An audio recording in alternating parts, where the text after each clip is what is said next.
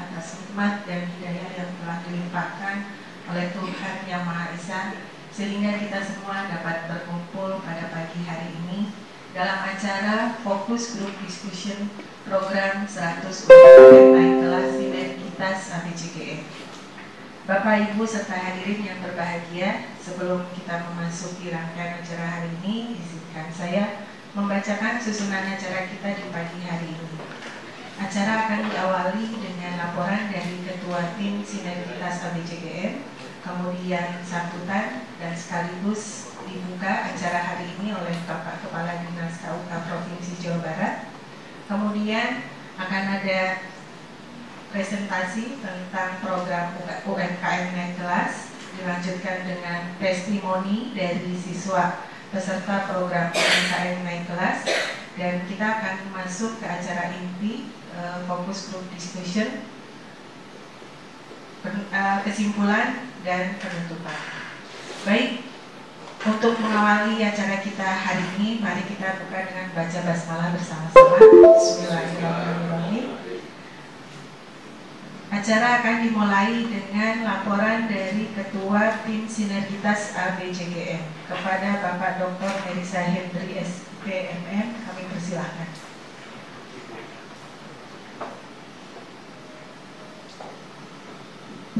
Bismillahirrahmanirrahim. Assalamualaikum warahmatullahi wabarakatuh. Alhamdulillah Puji syukur kita panjatkan kepada Allah Subhanahu wa taala yang memberikan kesehatan dan kesempatan buat kita pada pagi hari ini kita bisa ketemu di aula dinas KUK Jabar dalam acara fokus group discussion tentang uh, program 100 UMKM di kelas yang saya hormati Pak Budi selaku Kadis KUK Jabar yang selalu memberikan dukungan uh, untuk bagaimana kita berkegiatan di model Petralix ABCG gitu. Selanjutnya yang saya hormati Pak Tutus, Kabit Pemberdayaan uh, Koperasi, makasih Pak sudah hadir dan kemarin saya todong-todong juga ngisi kuesioner. kemarin Ibu ini semua izin beliau ada di dinas luar gitu, sama Pak Rudi masih satu. Selanjutnya teman-teman dari oh Pak dari Bank BJB, Pak Pak Staf Soro, makasih. Kemudian dari uh, Kanadi, dari uh, MNC Trijaya, kemudian juga dari TP dari apa teman Baris. Notaris ya alhamdulillah. Kemudian ada teman dari HPN kasih kemudian uh, dari IPM Bu Foni. Kemudian uh, sebagian bapak ini adalah teman-teman uh, yang sudah memberikan apa ini tadi kita Budiana juga udah ngasih tahu beliau bicara mau ke sini Pak dengan Sari gitu ya Pak. Uh, beliau uh, Pawan jemput lapor. Mungkin hari ini pada jadwal jemput lapor gitu kalau saya udah kemarin. Gitu ya Bapak jemput lapor Pak. Ambil nggak yang punya cucu. Ya Bapak dan Ibu sekalian Alhamdulillah. Ini memang uh, program uh, selamat datang Pak Rudi FGD ini Pak uh, kami lakukan dalam rangka untuk penyempurnaan model model uh, UMKM kelas yang memang kita create sendiri dengan style uh, ABCGM kita menggabungkan seluruh potensi yang ada di akademisi, bisnis, community, governance, sama media. Yang saya lihat model ini belum belum ada gitu dalam artian yang digabungkan dalam sebuah program secara reguler layaknya sekolah gitu. Nah, uh, lima bulan kita jalankan program ini memang sudah punya basic, cuman perlu disempurnakan pak gitu lima bulan mulai dari 100 siswa dengan asumsi dulu kita mengambil dari 30 orang peserta ekspor kemudian 20 mahasiswa pak yang program DKN dulu pak yang program kementerian pak kan masih ingat waktu itu kalau salah Bapak sign MOU di Bali ya dengan uh, Pak Merkeli, rektor-rektor. Sementara kita di Bandung juga menyeleksi uh, itu sampai 20 dapatlah yang terbaik. Kemudian 50 adalah uh, perwakilan dari komunitas Pak. Nanti detail sama Bu uh, temuan kami memang agak unik ya Pak. Meskipun kami sudah melakukan proses dari awal seleksi, kemudian bikin komitmen segala Pak, bikin komitmen, kemudian uh, menjalankan program yang dipimpin oleh Bu ada Bu ada Kak Sutadi, ada Teh uh, Lela, kebetulan beliau masih sakit ya Pak ya. Kemudian sama Pak Anan dibantu oleh mentor ada Bu Foni sebagai mentor, Redian sebagai mentor, dan beberapa lain Bu Tia juga, Pak Aro.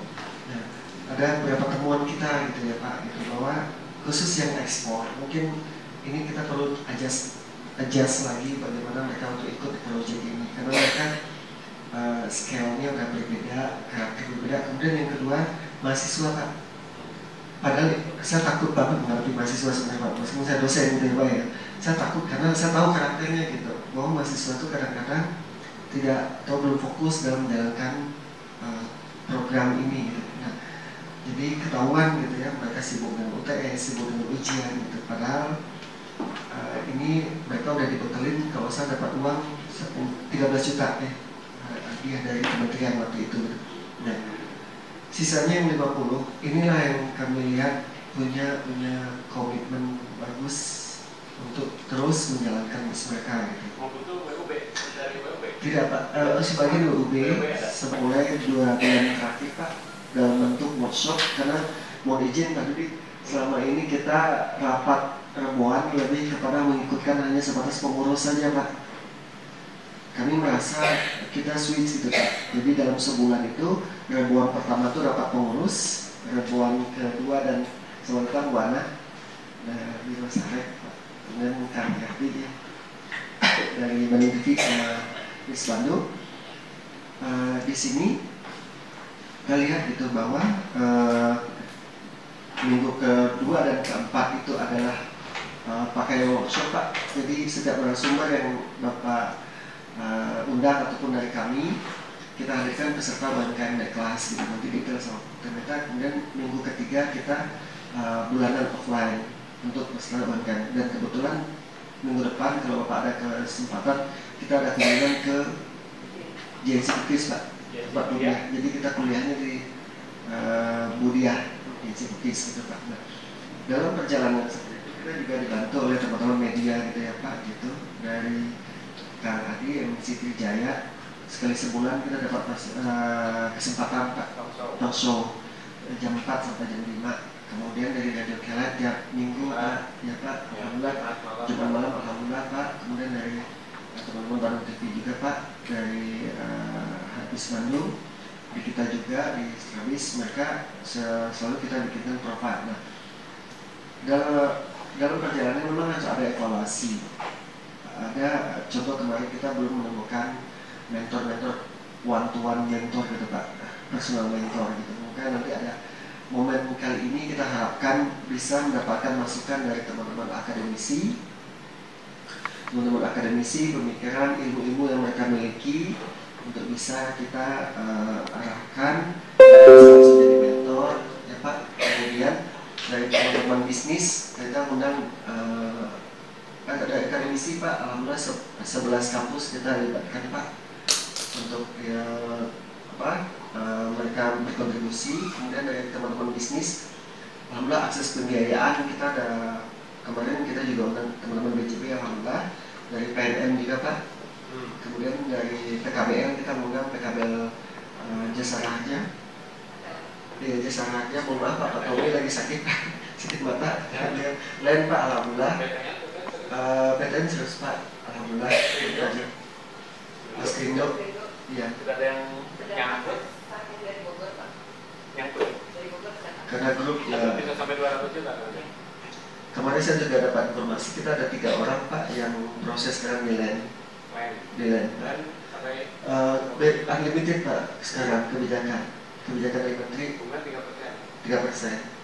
Nah, tentu diawali dengan 15, 20, nah, alhamdulillah kemarin bertahap pak, tapi maksimal tiga kali peminjaman sampai mereka di bank level.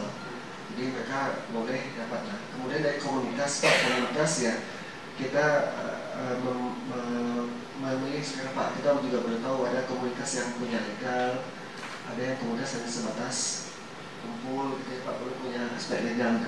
Nah kita kemarin alhamdulillah kalau yang punya legal mereka sangat mendorong bisa menjadi bapak akad buat komunitas apa anak-anak yang jadi uh, ikut di proyek ini. Nah, teman-teman teman-teman yang legal kita juga memilih kepada komitmen mereka. Nah, dari government alhamdulillah Pak itu uh, mulai dari kementerian ya Pak ya kemarin kita libatkan mereka di acara kementerian Kemenlu juga kemarin kemudian dari uh, provinsi kabupaten kota alhamdulillah Pak uh, kita kan ABCGM itu baru tiga baru empat empat ya Pak dari Karawang. Uh, kemarin ada ada. Ada. Ada ada. Langsung berbeda pengurusnya Pak gitu. Jadi uh, kemarin Pak Rudi alhamdulillah bisa hadir sama Temeta sama Kang kemarin. Nah kemudian dari media Pak alhamdulillah teman-teman media uh, kita mulai mulai mendapatkan kesempatan dari teman-teman media gitu. Bahkan kita berharap sih teman-teman media hari ini bisa memberikan pendapat saran apa baiknya buat keberadaan daripada teman-teman UMKM kelas. Nah, itulah Bapak kondisi uh, yang ingin kita sampaikan di forum ini tentang ABCGM. Lalu memang ada pertanyaan kenapa ABCGM mulai merucut gitu ya Pak ke serat, ke UMKM naik kelas Pak. Satu setengah tahun di, di, didorong sama Pak Dudi. Rasanya kita harus punya produk ya Pak, punya program. Dan kenapa mulai dari program 100 UMKM kelas mulai kelihatan gitu Pak. Mana teman-teman yang bisa concern, mana yang bisa setengah konsen mana yang tidak konsen gitu ya gitu jadi yang selama ini pak bapak undang pak ya ada yang konsen ya alhamdulillah ini IPMI alhamdulillah sampai saat ini teman IPWAPI pak pak ibu mas kan beliau masih di ya pak biasanya S 3 nya ya betul. Betul kemudian uh, teman-teman PN gitu ya pak. Uh, TNK ada di ESI T Pati di komisi sales gitu ya Pak gitu. Dan alhamdulillah yang yang benar-benar fokus. Nah sekarang uh, kami kami sudah menyebar kurang lebih ke 55 uh, peserta hari ini Pak untuk ikut FGD ini uh, dari akademisi uh, apa ya tadi Pak uh, akademisi dari Dayu, dari SBMTB, dari Unpad, Bu Diana, kemudian dari Budi Tama dari kita sudah dapat masukan dari teman-teman pemikiran untuk UMKM kelas yang bisa kita menarik juga peserta dari kabupaten kota untuk ikut uh, kelas ini sehingga akan menjadilah teman-teman itu benar-benar bisa naik kelas. uh, kami berharap uh, ini bisa memberikan sedikit insight